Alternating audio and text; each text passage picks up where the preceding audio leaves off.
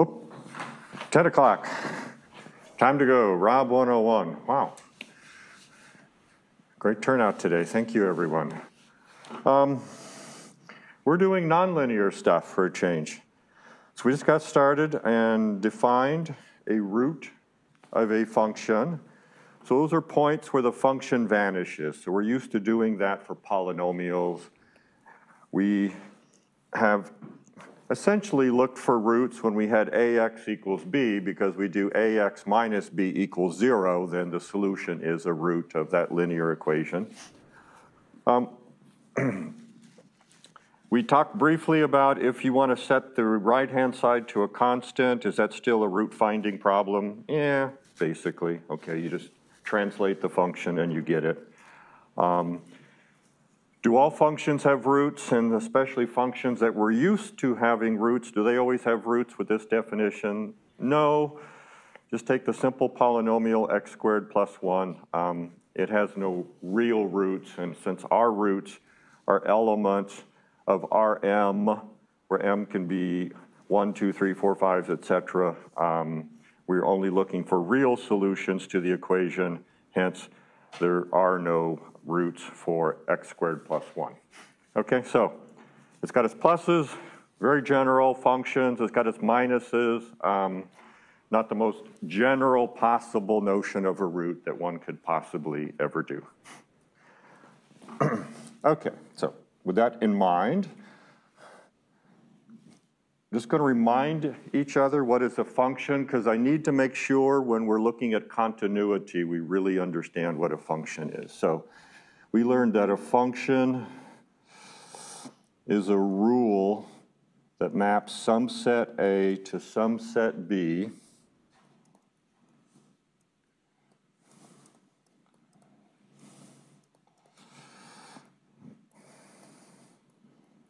So it takes each element of A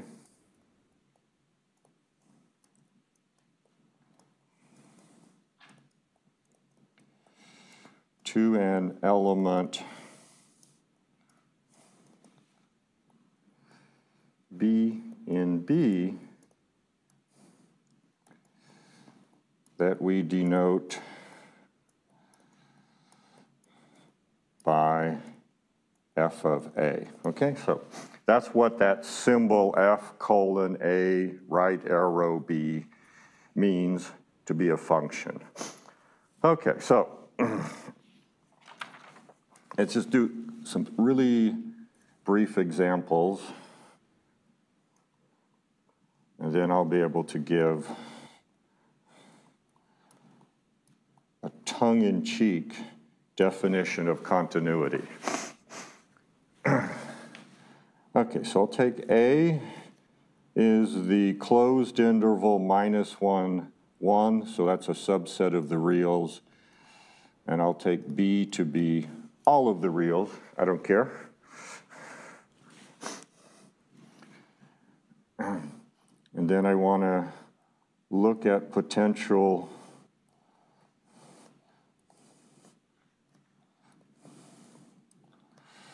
rules and see if they generate functions. Okay, so we'll do the first one f at a point A is equal to a squared. Zoop. I won't do my fancy arrows for this, but okay, you basically get that. So yes, function, okay? That's a function.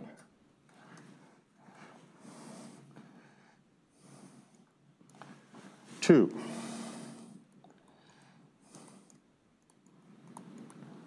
Every point in A gets mapped to a half. Is that a function?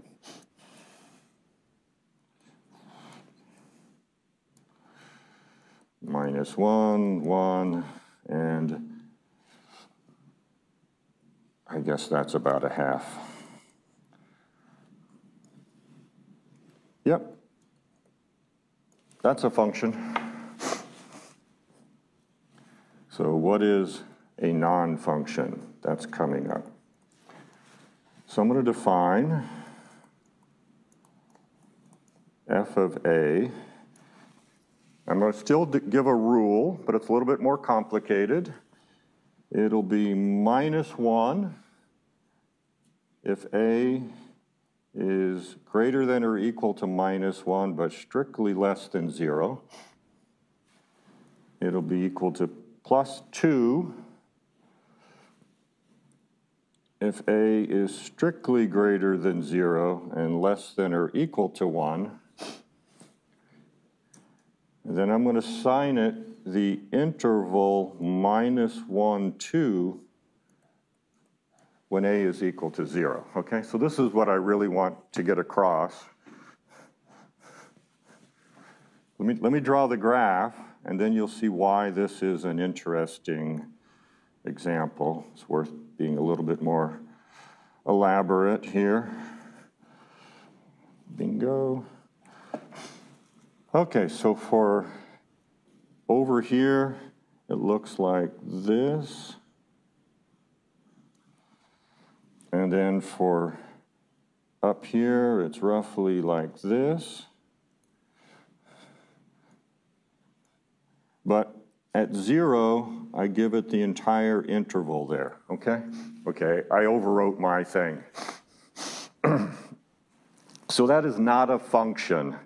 It's not taking a point to a point. It's taking a point to a subset that has more than one element, okay? So this is not a function.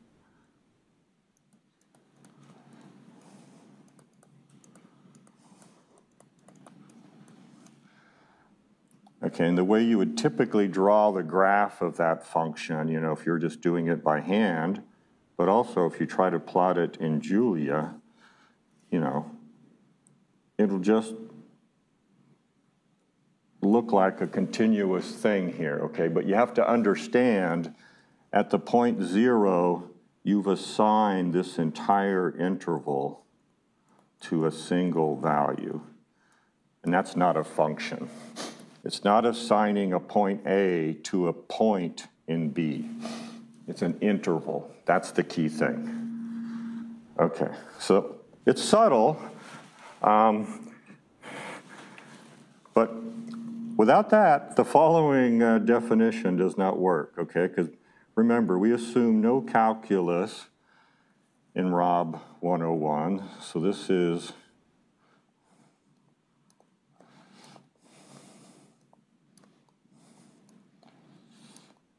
a little bit tongue-in-cheek, okay? And it's because we're not assuming calculus. The correct definition is given in the book in terms of epsilons and deltas, but that's okay. This is good enough for us. So we assume it's a function, and we'll just do it from the reals to the reals, or a subset of the reals to the reals. We'll say it's continuous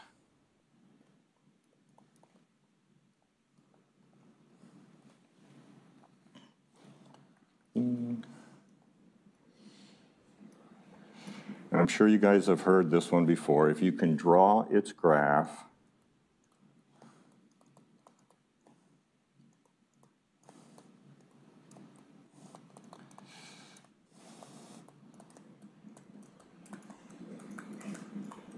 without lifting your pencil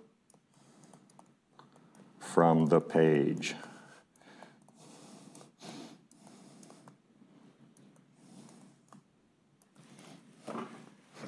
Everybody heard this kind of, this was your early definition in high school of continuity? Yeah, okay. And so why did I make a big deal? You know, because this one, it looks like, you know, well, my arrow's not quite at right angles, but you guys can apply Gram-Schmidt and fix my axes, okay? That's pretty cool. Um, the thing is, okay, so if you were just doing something with a step, look, I just drew it without lifting my pencil from the page. but I didn't draw a function, okay? So it's, that's why, that's why continuity doesn't apply, because it's not a function, okay?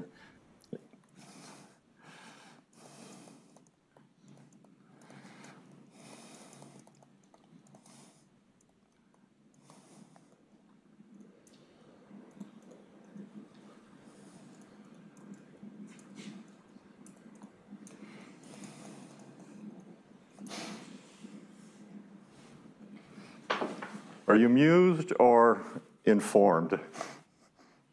Neither. That's the worst part, okay? Okay. Um, so let me just insert some plots. There you are, hiding from me. Insert image file. We got room here. Images. There we go.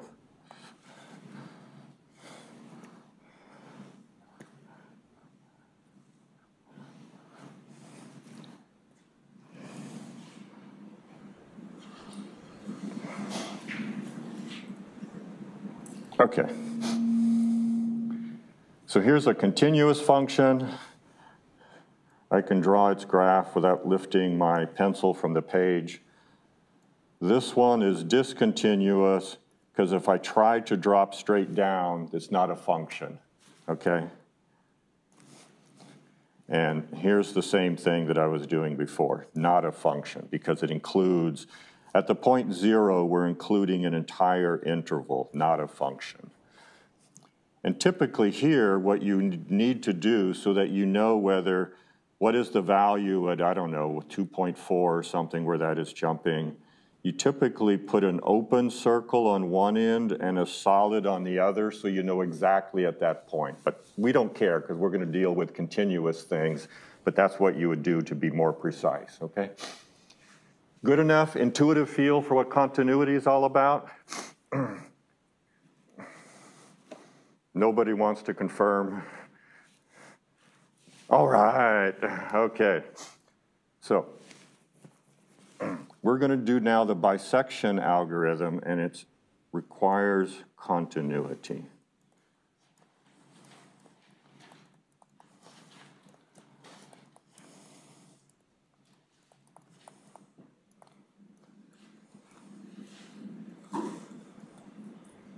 and we'll see why.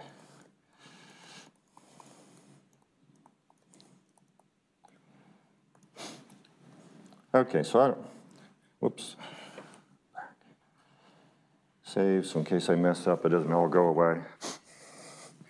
So this is going to give us a practical and intuitive method to find roots of real valued functions.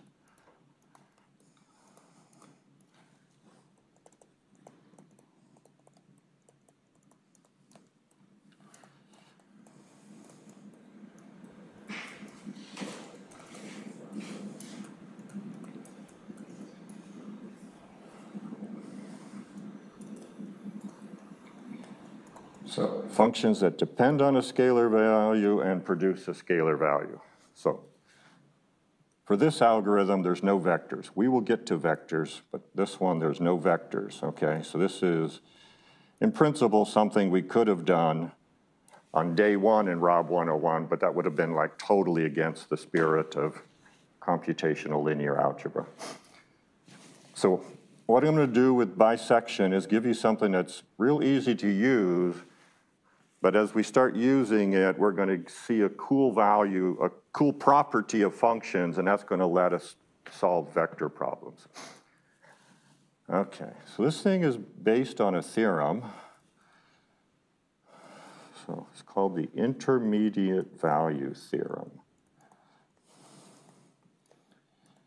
Knowledge is power, and this is a powerful theorem.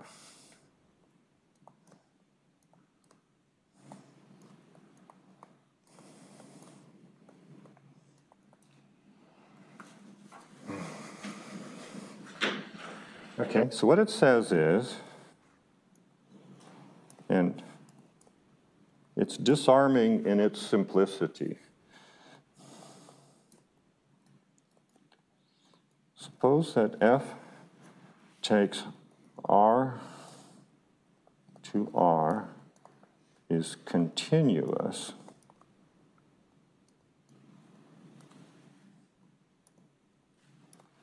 and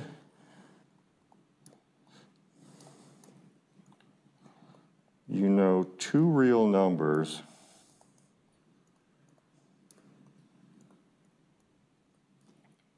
A less than B. So I'll let you catch up there. Okay, so we need this continuity, so I'll underline it. Okay. We can't have jumps. Doesn't work. If you have two real numbers, we want two distinct real numbers, okay, so they, can't be equal, so we'll just assume A is less than B.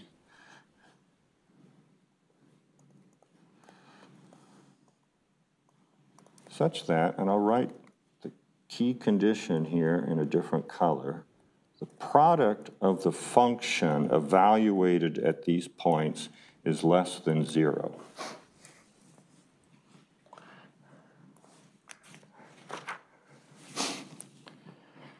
Okay. Then we're going to get something cool, but let's just pause here. If f of a and f of b, the product is negative, can this one be zero? No. Can this one be zero? No. Can this one be positive and this one be positive? No. Can this one be negative and this one be negative? No. One has to be positive, one has to be negative, okay? So that's the key thing. They're on opposite sides of zero. Opposite sides of zero, okay? Then, whoops, then magic disappearing ink for the cool thing. Then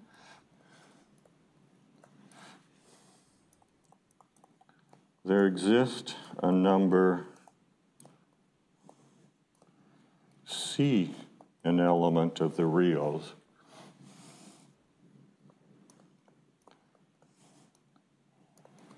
such that property one, C is strictly between A and B, and property two f of c equals zero. Ooh, c is a root. Those are distinct words. Okay, strictly between A and B. Okay, that's the end of the theorem called the intermediate value theorem. There are multiple versions of this theorem. Another version of the theorem says that f takes on every value between f of a and f of b. But only value we care about is the root, okay? So that's what we're focusing on. We just, we just noticed these guys are opposite signs so if I draw a graph, one is here, one is there, and then there's a point in the mid, someplace where we get zero, which is awesome.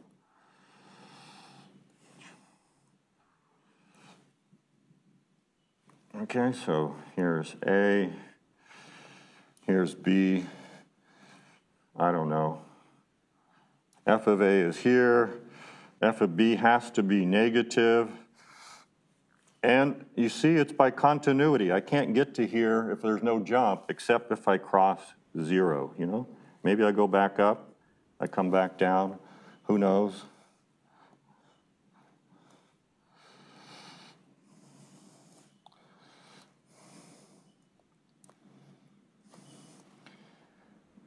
And it just doesn't matter.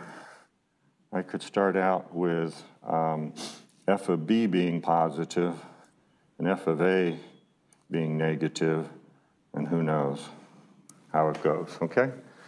So this one, there are multiple C's, but I just said there exists one, and this one there would be only one C. where we, zero, okay? So we could have multiple roots. It's not saying that there's not another root. There exists a number. There could exist 10 numbers. Okay? There could exist an infinite number of, of, of, of roots.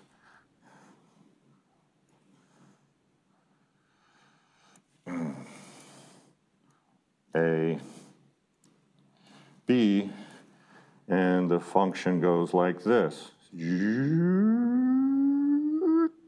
Bingo, okay? There, I have a ton of roots. All it says is there exists at least one. Okay, so why is that enough to do an algorithm? Okay, this, this gives you an algorithm.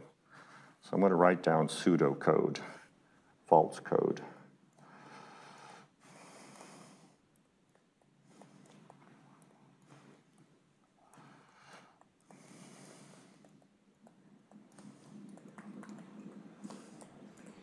Has anybody used this before to find roots of nonlinear functions? Oh, you're going to love it, okay, when you program it up. You're going to love it, okay? It's just super cool. okay, so how do you initialize your algorithm? You always got to start out with something, right? So this is the hard part because it depends upon your domain knowledge. You have to give a less than B such that f of A times f of B is negative. So they're on opposite sides of the y equals zero axis, okay? So that's the hard part. Once again, this is the part, you finding those that's what keeps you employed. Okay, so that's the, that's the initialization. We'll start.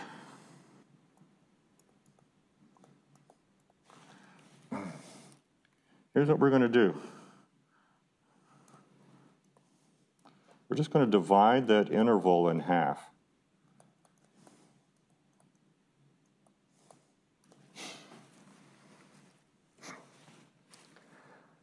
Now, what's the chance of that being the root? Could happen. General is not going to happen, right? But that's okay. Exactly two things are possible.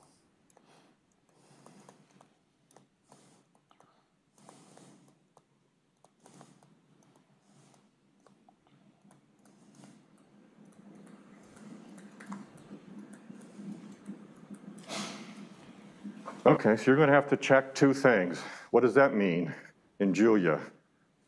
An if statement, okay? You branch, okay? it's going to, anytime, this, this is where if statements come from.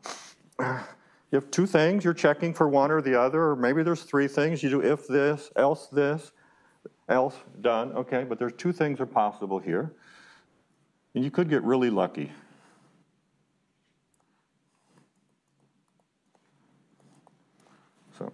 Let's label these one.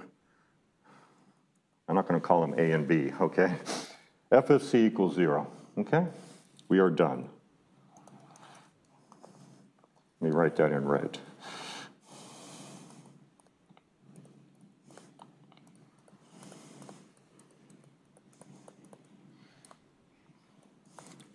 And I put an exclamation point because we're happy, okay?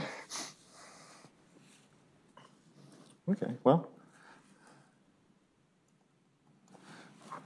that's not going to happen every time, okay? So you need to know what's, what, what do you do next, okay? So, well, the contrary to that is f of c is not equal to zero, or it's not close enough to zero. Okay?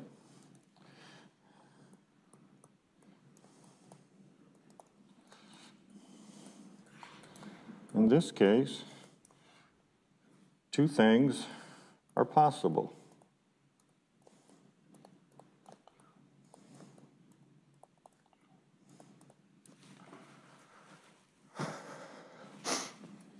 Okay, so I'm going to do something that's hard for me and try to be strategic with my space here and give you guys a picture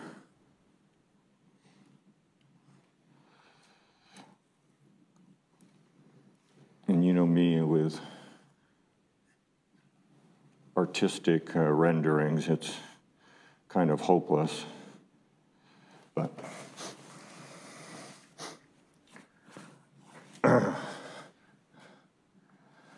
okay, so A, B, A, and let's just suppose, okay, so then C is this thing in the middle. A plus B over 2, right at the midpoint, right? That's what it's defined to be. So let me draw my uh, curve. Uh, I don't have a yellow, red wouldn't be, I guess I'll stick with black.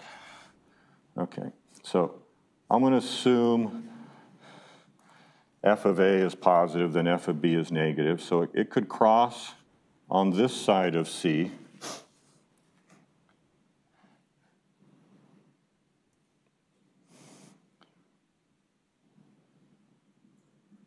could cross on that side of c, right? It's not in the middle. it doesn't go through c because f of c is not equal to 0.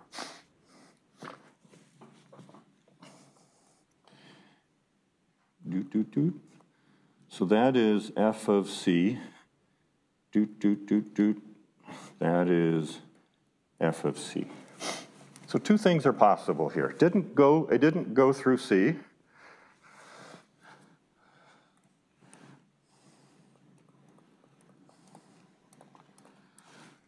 Okay. So either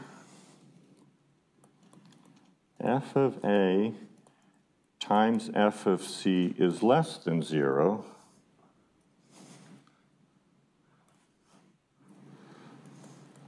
or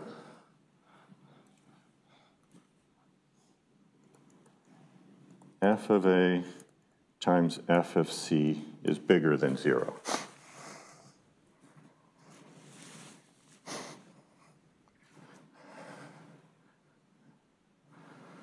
You guys agree? It has, those are the only two possible cases. You can see from the picture, the logic tells you that's what it is too, okay?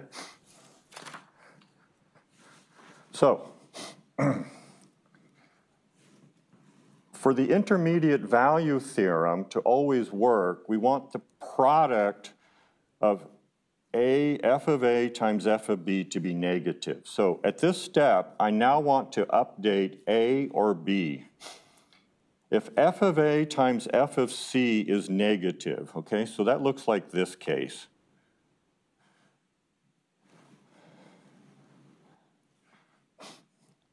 What would happen if we set, um, if we moved a over to c, we would be excluding the root if we did that, okay? If we put, put a over to here, we don't capture the root, okay? Whereas in this case, if we move A over to here, we, um, we still capture the root, which is there. Okay, so if f of A is less than C, then we can keep A and we set B equal to C.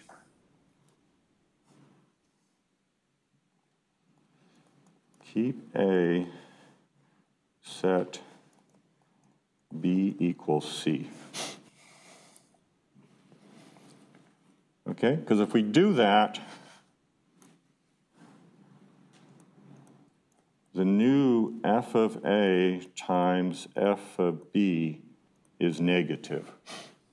That's what we want for the intermediate value theorem to work.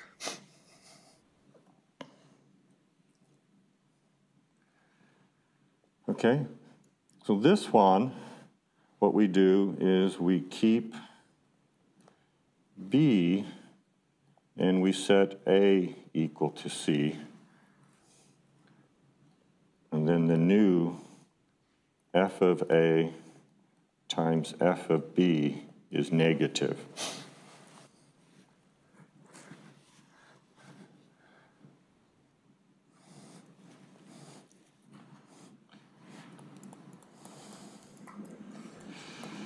We end all the if statements, they're done.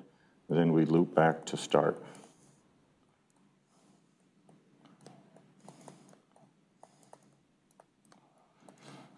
Okay, so this would be a wash, rinse, and repeat.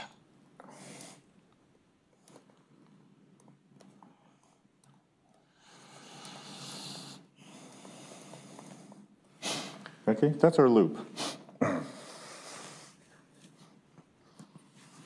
We simply go through, we check either f of a times f of c is negative.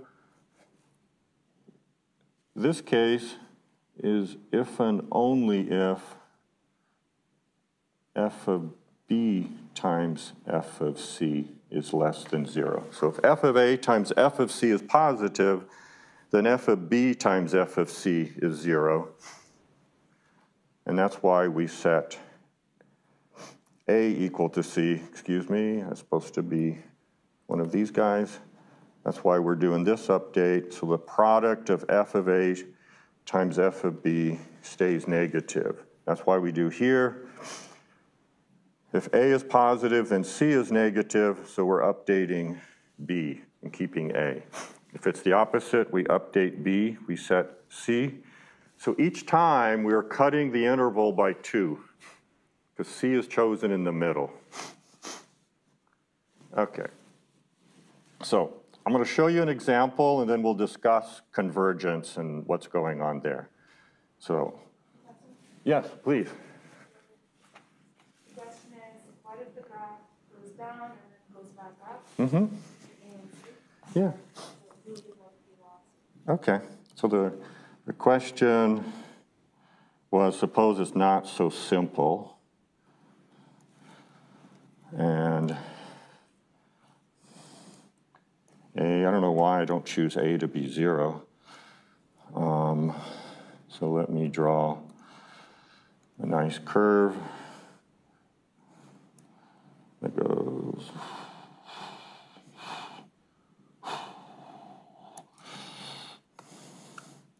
Shoot, I didn't want to do that many of them. Okay, that's general enough? Okay, so here's C. Uh, Is that close enough to A over plus B over 2? Okay, but here's the key thing, though. Still, here's f of, here's f of C. Here's f of A. Here's f of B. Now,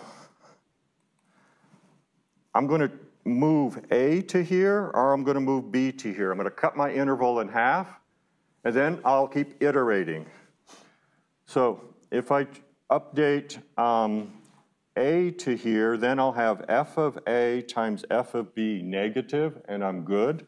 But if I move B to here, then I would have f of A times f of B positive. And in this case, yes, there are roots, but in general, all the all the implicit, all the intermediate value theorem says is I, I include all of those values. It doesn't say I can go above. It's not guaranteed. Okay, so it doesn't matter. I still just look at f of c times f of a. If that's negative, then I keep a and I update b to c. And if f of a times f of c is positive, I keep b and I update a. That's my rule. Yep. The question was, what uh, it never went back? So it's basically a parabola. uh, Is that, that the, yeah. this case doesn't handle it? So I think they're trying to ask, it goes down and then your C, like, um, the other curve that goes back down, that doesn't happen. So after you see your graph keeps increasing. You want to come draw it for me, Tribby? I think it just means like after C, it keeps increasing. It doesn't have another loop between C and D. Uh, Okay, so this is positive, this one's negative. Here's C. But they don't want the f of B to be negative. I think it's going to be positive. Then f of a is positive too? Yeah. Well, then that doesn't work. Okay. No. So, yeah, so this is really, really, really important. Pseudocode, this is what's given. This has to be satisfied or you don't start, okay? So, okay, that's why I couldn't get the example, because the example they wanted was, what if f of a is like this, f of b is like this, and it, you know, hey, I got lucky, I found a root, but I would not, this is, you know, do not uh, apply bisection. Because I fail to satisfy f of a, because here f of a times f of b is positive. So I failed to initialize the algorithm correctly. Okay, so sorry, I was slow on catching on to that. Okay, so let me insert some pictures and we'll talk about properties. You can see what's going on. Image, file. Hmm. No, don't want the zoom. I want this one.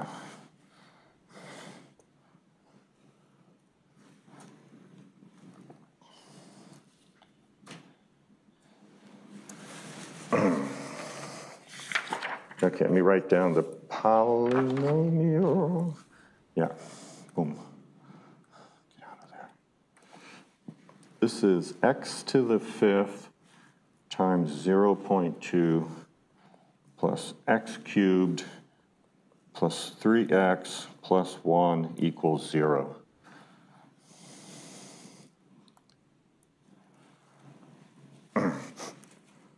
Okay, so we initialize the algorithm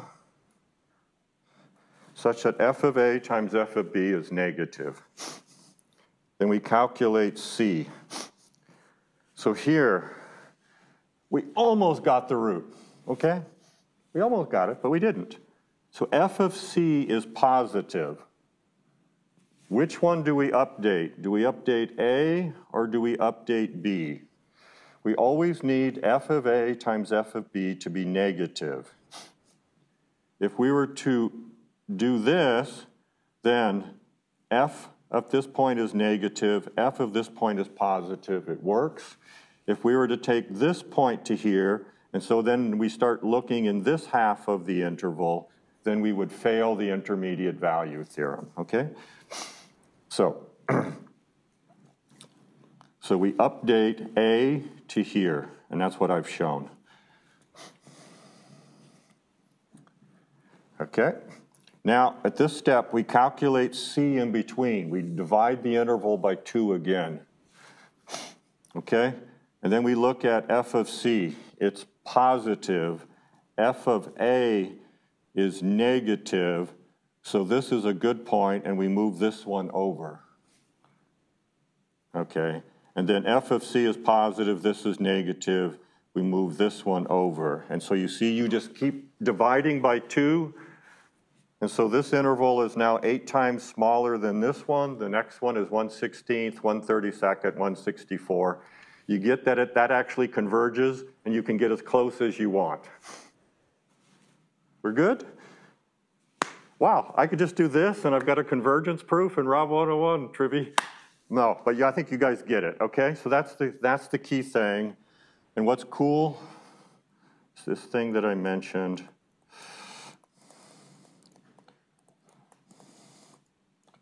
For polynomials of degree 5 and higher,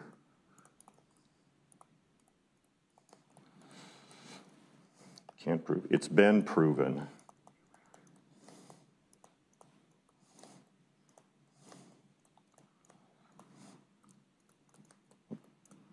the closed form solutions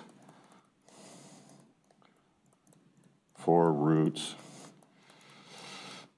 do not exist. And once again, this is not that nobody has been smart enough to find them. They've proven that those formulas cannot be written down, okay? So that's, that's kind of an amazing uh, thing, a non-existence proof. Okay, so you have to use numerics in general, and this is one way to do it. So I think for scalar problems, you guys can solve almost anything. Okay. Now,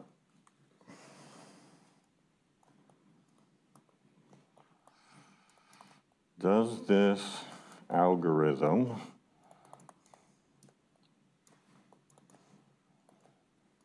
terminate?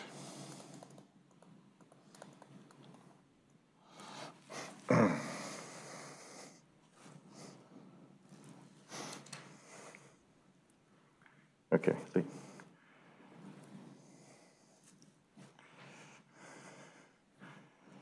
So we initialize, we find the midpoint, and then we branch. Depending on f of a times f of b negative or f of a times f of, uh, excuse me, f of a times f of c negative or f of a times f of c positive, okay? We branch, we keep dividing by two. Now, whoops, we only stop if we find a root. Okay, so let's just note something. I'll, I'll write it down, but how is C computed? There it is. Suppose A is a rational number, so it's an integer over an integer, right? Suppose B is a rational number. It's an integer over an integer. Guess what C is? It's also a rational number, okay? So if you start out with rational endpoints, you keep rational points A and B forever, okay? Okay, so uh, vocabulary, I forgot to give you. A, whoops, I should make these highlighted. A and B are said to bracket the root. Okay, so the thing is, if A equals rational, B equals rational, then C equals A plus B over 2 is also rational, which implies at every step of the bisection algorithm,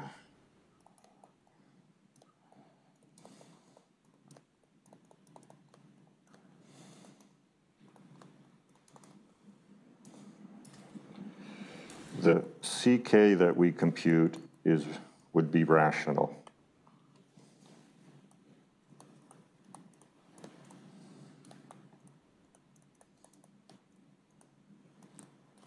Okay, that's kind of a hand-wavy proof by induction, okay? You start out with rational numbers, you get a rational number, you update, your, your bracketing points are rational, then you wash, rinse, and repeat. Okay, so you would really prove that by induction, but we, we, we don't do it. So what if you take an example like this,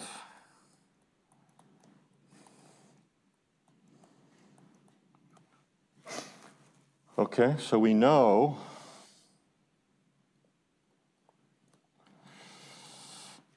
x equals square root of 2 is the root, right?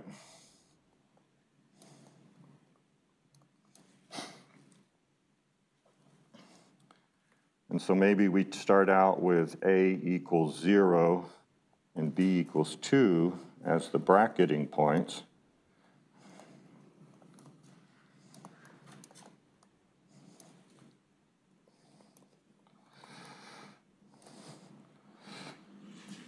They are rational.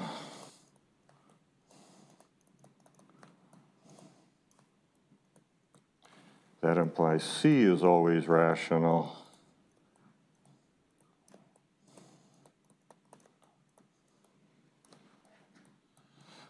And that means if we were to plug in, I'll put CK, That means ck squared minus 2 is never equal to 0. So we would never, ever, ever get square root of 2 out of that, because square root of 2 is not rational.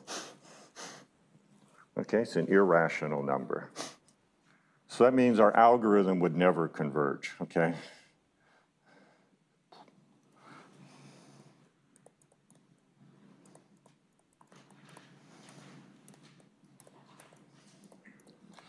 So it never stops.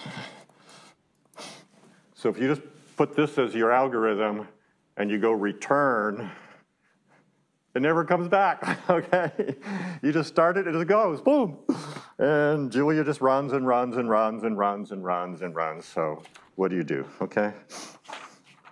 Um, so what you have to do is put a termination criteria, okay? So you must add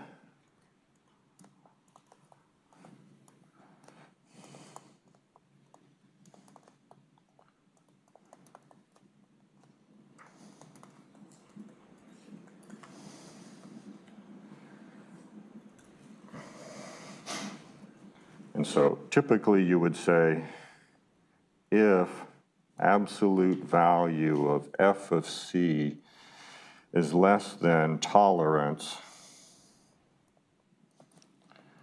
break, okay? So now you have a real algorithm. You could also put an upper bound on the number of iterates if you wanted, okay?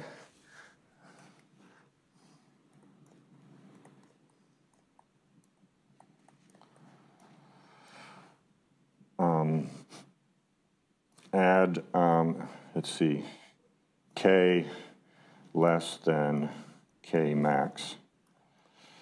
Okay, or excuse me, if it's greater than or equal to k max, terminate.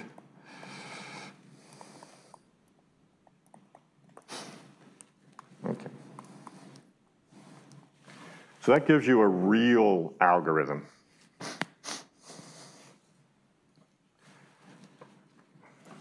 Okay. Uh, okay, so we got that taken care of on the A list and B. Everybody think they could program this up now and just make the decisions and just, so now you can find solutions to almost any nonlinear equation to any desired degree of accuracy. Could you do that this morning?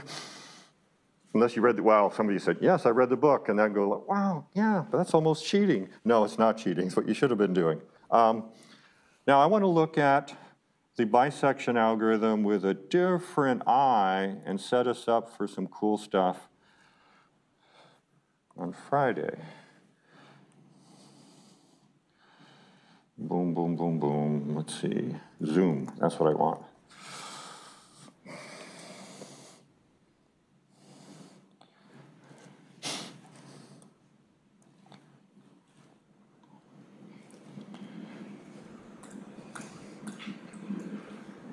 Okay, so now here's the same bisection algorithm, but instead of leaving the scale, oh, come on, get down there. Instead of leaving the scale fixed like I did here, collaborate, you're my, see, this scale stayed the same, and so you could see the brackets coming in, okay? I'm going to do a zoom each, each time now, and so that I'm always showing it on the new A and the new B. Okay? You see how curvy the function is when viewed at a large scale? You see the curviness in the function when viewed at a large scale? As we start zooming in, do you see it flattening out? And here, how flat does that look? Okay, so let me ask you this. If I were to do a linear approximation of this function by getting its slope as rise over run and taking the value there, okay, so I replace the function by a linear approximation. How good would that linear approximation be when you're looking here? It looks pretty good, okay? Now, look at what the bisection algorithm is going to do. It's going to keep dividing this thing in half, okay, for a long while. Look what you would do if you did the linear approximation. You would say, this is the root. And look how close you would be. After four iterations, instead of doing bisection, if you were to just estimate this line by f of a minus f of b divided by b minus a, rise over run. I already know f of c because I had to calculate that to get the sign. And I put that linear function in and I calculate the root based upon solving the linear equation, I get a really, really, really good approximation to my function. Okay, Newton made this observation way back in the what 16th century or something. Okay, it's called Newton's algorithm. So what we're going to start on Friday is I will write down this linear approximation, show you how awesome it is, and then we'll talk about linear approximations of functions, and we're going to get Newton's algorithm for finding the roots of nonlinear equation, and it converges much faster than the bisection. But bisection is cool. Just divide by half, it's mindless, okay? This other one, I'm going to push you to doing some calculus, even though we don't assume calculus. I will teach you what a derivative is. Okay, guys, hope you're having fun. It's just new stuff. Keep making us more powerful every single day.